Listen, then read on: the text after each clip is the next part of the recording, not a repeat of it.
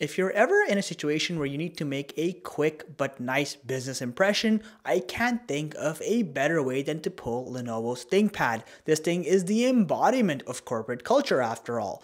With that said, today we're reviewing the latest T14 Generation 3 ThinkPad, and the configuration we have here in particular is rocking Intel's 1255U processor. We also have Intel's integrated Iris Xe graphics, 16 gigabytes of DDR4 memory, and a dual channel configuration. We also have a relatively limited 256 gigabyte solid state drive. Additionally, we do have Wi-Fi 6E as well as Bluetooth 5 standards on board. And finally, this laptop does have a 14 inch full HD plus display. Now there is a lot to talk about and we're really going to get into the nitty gritty details to see if the T14 is the right business laptop for you. So let's get into it. The ThinkPad comes in a generic cardboard box that says think on it. I guess in this case they mean think inside the box.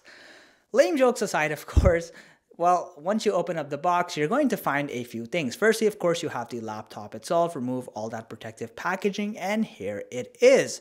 Now, past that, you do have a standard 65 watt charging adapter. However, I'm immediately happy to see that you have USB-C charging included right out of the box. You also, of course, have the standard wall outlet charging cable piece, and finally an envelope inside which you'll find the quick start, warranty, and regulation information. Versatility and durability are the key elements of what makes the ThinkPad so special for a lot of people. As such, you do have a chassis that consists entirely of a magnesium alloy build.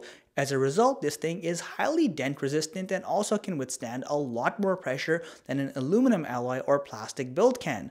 And the end result, this thing is designed to take as much wear and tear as possible in the long run. This also means you have a relatively light weight of approximately 3 pounds, making this a great portable laptop. Now, starting with the top side, again, you'll notice a smooth nearly textureless flat surface over here to keep that business appeal. However, Lenovo isn't shy about telling you this is a ThinkPad as that's what they label it in one corner and also having the Lenovo badging on the top corner. On a laptop as utilitarian as the ThinkPad, IO port configuration really matters, and I'm happy to say that for the most part it's all there. So on one side you have a RJ45 or Ethernet port, you have two fully loaded Thunderbolt 4 ports with of course power delivery, you also have a HDMI 2.0 port, a USB-A super speed port, and a good old headphone jack. On the other side, you have a Kensington lock slot, you have one more USB-A super speed port, and finally a heat exhaust vent. Overall, I think it's a pretty good setup,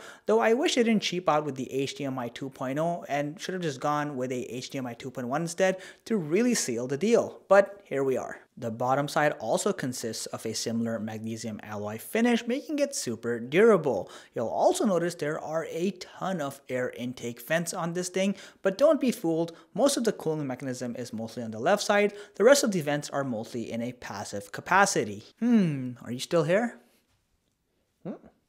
You are. That's fantastic. Thank you so much for watching this video. Just want to take a quick minute to ask if you are enjoying the content, please consider subscribing to this channel. It genuinely helps me grow more than you'll ever know and is the backbone and the foundation of this channel. So as always, thank you so much for watching. Let's continue. Upon unfolding the laptop, you are immediately greeted by the same high quality materials that you find on the exterior, though you do have a rather limited amount of palm rest space here, but in all fairness, it is just a 14 inch laptop after all. Now the trackpad is a real item of significance here, so I'm happy to report you have a decent amount of surf real estate, though oddly enough, Lenovo went with a plastic surface finish rather than a glass one, which means you do have a nominal amount of flex, but it's within the realms of reasonability and the clicks are pretty tactile and well calibrated. On top of that, Lenovo provides you with dedicated left and right click keys on the T14, which I absolutely love. The keyboard on the ThinkPad is by far its most superior feature. In fact, I think this is the best keyboard on any laptop period.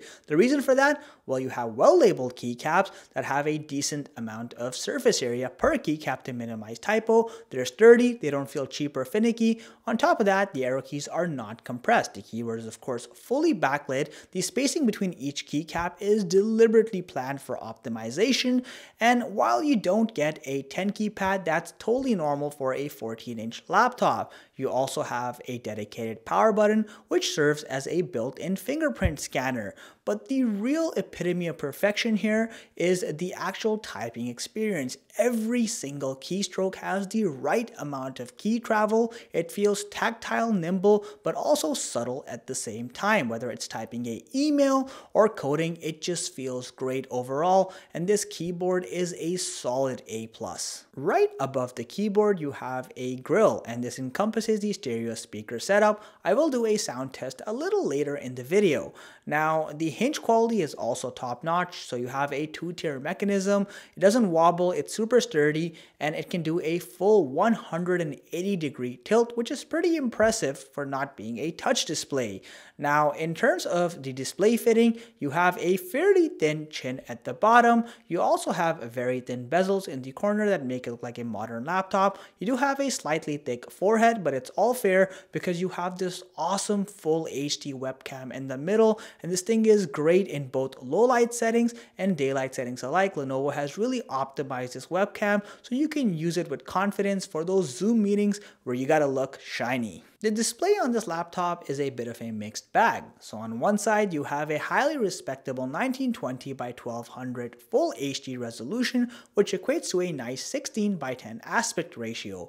You have a standard refresh rate of 60 Hz. Additionally, this is a IPS panel with fantastic viewing angles. You also have a matte finish screen here, though you have no touch functionality. It's also worth noting you do have a total peak brightness of 300 nits, which is somewhat disappointing given that this laptop is supposed to be versatile, it would have been nice to have 400 nits so you can tackle those super bright settings more easily.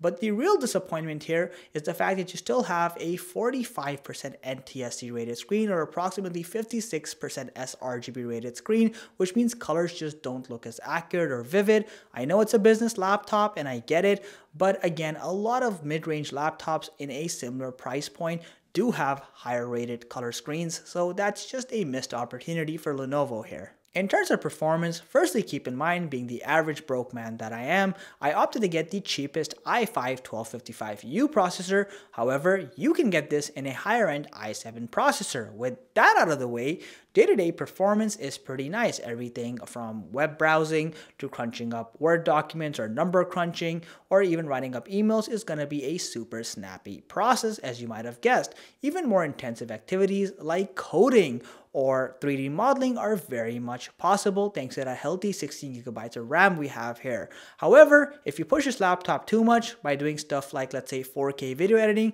it does start struggling even with the additional RAM. A lot of that is because this laptop prioritizes efficiency over performance, which means you do get the occasional frame drop and slower than usual render times.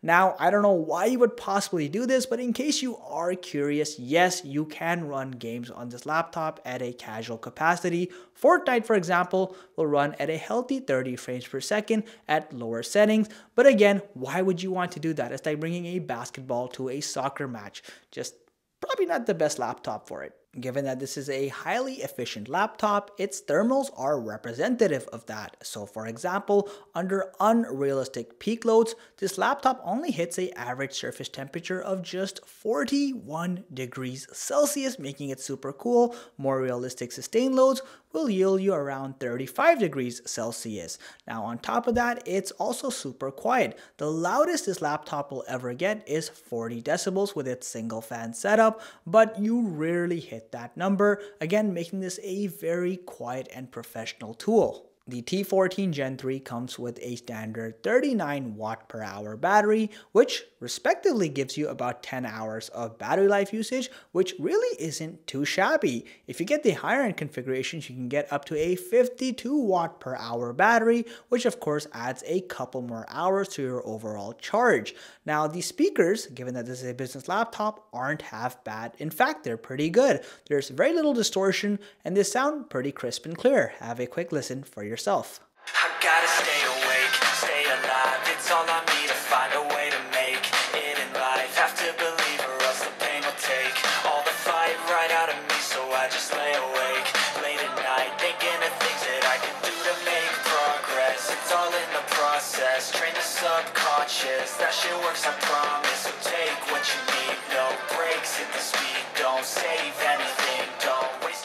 With a estimated retail price of 1050 US dollars for this particular configuration and higher for well more expensive configurations it's a lot of money to ask for, but in return, the ThinkPad really does do what it sets out to do. It gives you a durable and versatile machine. Everything from that magnesium alloy build to that fantastic trackpad and keyboard to the high quality webcam on here, those are all tools that someone who's specifically doing a business oriented use case can appreciate. Now, if you have a more general use case, let's say you do a little bit of gaming, a little bit of photo editing combined with, let's say, some Word document crunching, you may be better off with a general purpose mid range laptop. But for a more professional environment, the ThinkPad is a fantastic tool and companion to have with only a handful of flaws, which I mentioned in this video. Let me know what you think of the latest T14 Gen 3 and whether or not you'd be interested in getting one. As always, if you guys enjoyed the content, please consider subscribing to this channel. It genuinely helps me grow more than you'll ever know. And thank you so much for watching. Catch you in the next one.